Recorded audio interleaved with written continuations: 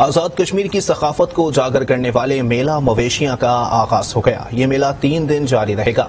Report कर रहे हैं अमनाज खान।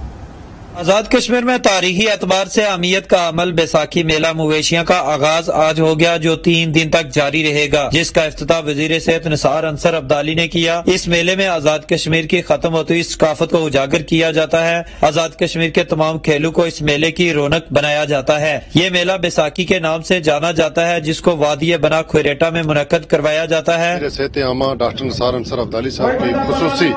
कोशिश और दिल, जाती दिलचस्पी की वजह से ये मे, मेला मुनद हुआ। तकरीबन तीन चार साल के वक्फे के बाद हो रहा है। ये हमारी एक रवायती सकाफती मेला है जो कि सौ साल कदीम इससे पहले इसकी तारीख है। ये हमारा कल्चर है और इसको ज़िंदा डिस्ट्रिक्ट कोटली में रखा गया है और मैं इन सब दोस्तों को मुबारकबाद देता हूँ। आज़ाद कश्मीर और पाकिस्तान भर से लोग इस मेले को देखने के लिए आते हैं और मुख्तलिफ़ स्टॉल लगाए जाते हैं जिसका मकसद आज़ाद कश्मीर की खत्म हुई सकाफत को दोबारा ज़िंदा करना है। इस मेले के अख्ताम पर वज़ीर आज़म आज़ाद कश्मीर का दौरा होता है और आखिरी दिन वो मेले में गुजारते हैं।